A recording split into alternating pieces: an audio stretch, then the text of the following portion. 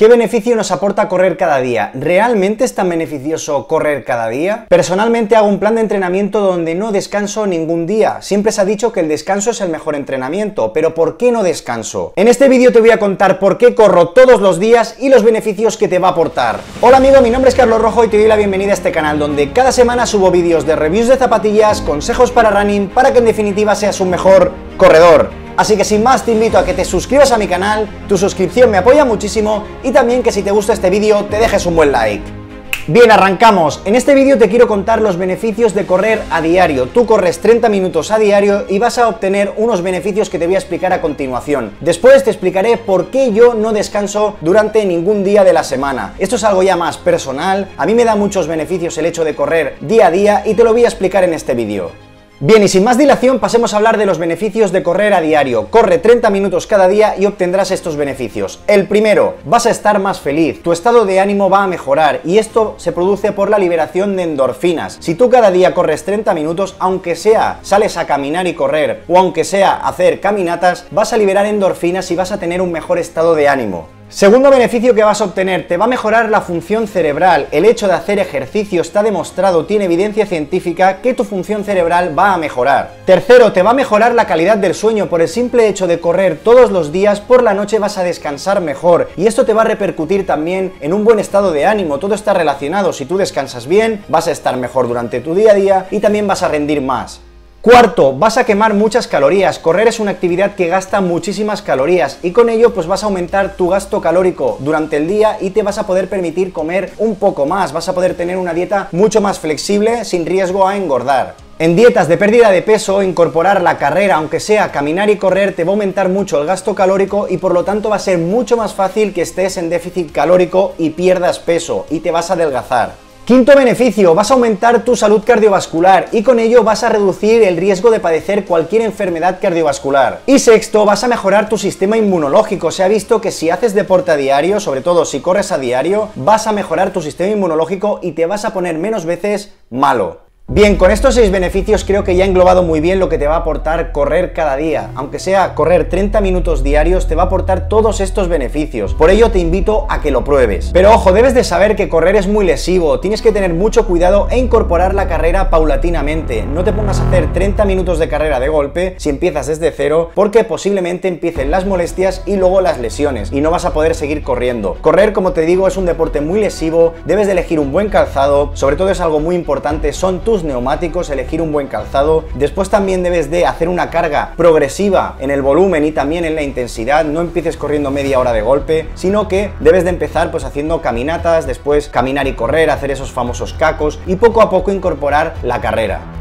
También me gustaría recomendarte que incluyas el entrenamiento de fuerza. El entrenamiento de fuerza tiene también muchísimos beneficios. Si combinas las carreras de 30 minutos diarias, o aunque sea al principio no corras todos los días, sal a caminar, con entrenamiento de fuerza, tu salud va a mejorar una barbaridad. Dicen que el entrenamiento de fuerza es la polipíldora para tratar cualquier tipo de patología. Sin lugar a dudas, mi recomendación es que empieces a salir a caminar cada día y que hagas entrenamiento de fuerza y paulatinamente vayas metiendo la carrera, haciendo los cacos y luego ya podrás correr 30 minutos, 40 minutos sin ningún tipo de problema. Bien, una vez ya te he dicho todos los beneficios y cómo incorporar la carrera a tu día a día, te voy a contar por qué yo no descanso ningún día de la semana. Cuando se busca rendimiento, como es mi caso, que yo quiero rendir y hago bastantes kilómetros a la semana, sí que es cierto que viene bien meter días de descanso. Este es el día en el que vas a asimilar todo el trabajo y no hay nada más anabólico, es decir, que construya que el propio descanso. Pero es cierto que vivimos en una sociedad sedentaria. Yo me paso el día sentado trabajando. Si no hago ejercicio, mi vida es totalmente sedentaria, no me muevo. Por lo tanto, por eso incluyo siempre alguna actividad física, ya sea en los días de descanso de carrera, ir al gimnasio a hacer fuerza o incluso hacer 30 o 40 minutos de rodaje muy, suave en la cinta del gimnasio que tiene menos impacto. Yo todos los días trato de hacer ejercicio porque mi vida es bastante sedentaria. Estoy todo el día en casa, trabajando, como mucho voy a la oficina, pero voy en coche, estoy todo el día sentado y por eso hago ejercicio todos los días, porque si no hago ejercicio es que no hago nada, soy totalmente sedentario. Entonces por eso yo practico el running todos los días del año. Es que sin excepción, todos los días del año practico running o bien entrenamiento de fuerza. Evidentemente hay que meter algún día de descanso. Yo hay algún día que descanso, aprovecho pues que voy muy atareado o que tengo algún compromiso y aprovecho para descansar. Pero es que últimamente veo que si descanso no me encuentro bien mentalmente, me encuentro más cansado, descanso peor por las noches. A mí me viene muy bien correr, hacer ejercicio me viene bien, me encuentro con más energía, me encuentro a nivel mental mucho más fresco para poder llevar mi día a día. Yo tengo hijas, tengo un trabajo, tengo las redes sociales, tengo muchas ocupaciones en mi día a día, pero el hueco de correr para mí es sagrado, porque eso me mantiene fresco a nivel mental para poder afrontar todas mis tareas. De hecho, a veces lo analizo, voy de culo durante mi día a día y digo, va, Carlos, hoy no salgas a correr, si total, has corrido todos los días, por un día que descanses así podrás avanzar faena, pero es que me lo marco como obligatorio, porque sé que si voy a entrenar, si voy a correr o voy al gimnasio a hacer, pues entrenamiento de fuerza, luego me voy a encontrar mucho mejor y voy a rendir mucho más en las actividades que haga, ya sea pues estar con mis hijas, estaré más contento, ya sea grabar este vídeo, por ejemplo, de, de YouTube, voy a estar mucho más fresco para hacerlo. De hecho, antes de grabar este vídeo, me encontraba un poco cansado y he hecho un poquito de gimnasio antes de arrancar el vídeo y eso me ha subido un poquito el nivel de frecuencia. Me encuentro mucho mejor a nivel mental para grabar este vídeo. Hacer ejercicio es la cura. Que no es broma, hoy por ejemplo me he levantado a las 5 de la mañana, he ido a hacer entrenamiento de fuerza al gimnasio, también he hecho un, pequeño rodaje en la cinta y luego me he ido a trabajar, he estado todo, el día fuera de 7 hasta las 5 de la tarde. He llegado a mi casa reventado, a nivel mental no me encontraba bien y he dicho, hostia, pero yo quería grabar un vídeo de YouTube, ¿qué voy a hacer ahora? ¿Qué hago ahora? Pues me he tirado al suelo y empecé a hacer flexiones, he hecho abdominales, he hecho un poco de core, bueno, he hecho, un he poquito de gimnasia y eso me ha subido el nivel de frecuencia, me empezado a encontrar bien y he dicho, venga va, coloca el móvil y grábate y explica esto a tu comunidad.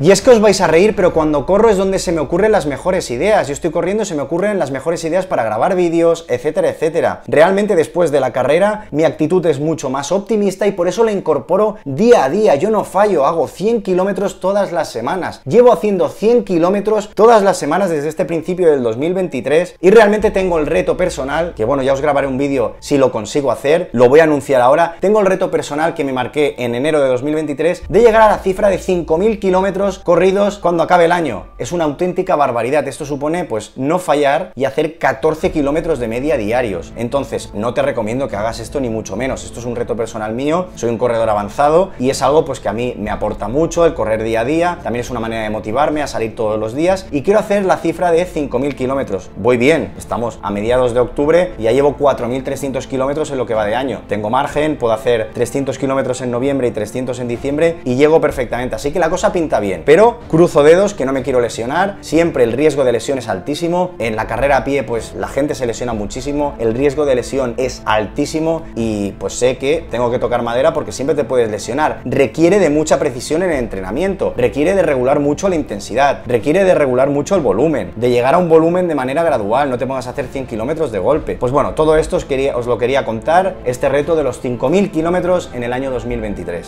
Pensad que para poder llegar a este volumen de entrenamiento también tienes que regular mucho la intensidad. Yo solo hago un día de calidad a la semana, esto ya lo llevo haciendo pues un par de años, el meter solo un único día de calidad. En 2022 lo hice sin tener ningún reto de hacer 5.000 kilómetros y realmente mi rendimiento fue muy bueno. Hice marca en media maratón, una hora 11 en media maratón, con un único día de calidad a la semana. He conseguido muy buenas marcas haciendo este tipo de entrenamiento, pero me permite hacer mucho volumen porque la intensidad la regulo mucho. Si tú intentas hacer 100 kilómetros todas las semanas durante un año, te vas a lesionar porque posiblemente la intensidad no la vas a regular. Así te pido por favor que regules mucho la intensidad y que vayas con mucho cuidado porque correr es muy lesivo. Y hasta aquí el vídeo de hoy. Ahora ya sabes por qué hago ejercicio todos los días del año, ya sea correr, entrenamiento de fuerza, ya te he explicado los motivos, también te he explicado los beneficios que te va a aportar si lo haces tú. Si tienes cualquier tipo de duda, déjamela en los comentarios que yo estaré encantado de solucionarla. Y nada familia, muchísimas gracias por estar ahí y nos vemos en próximos vídeos. ¡Hasta luego!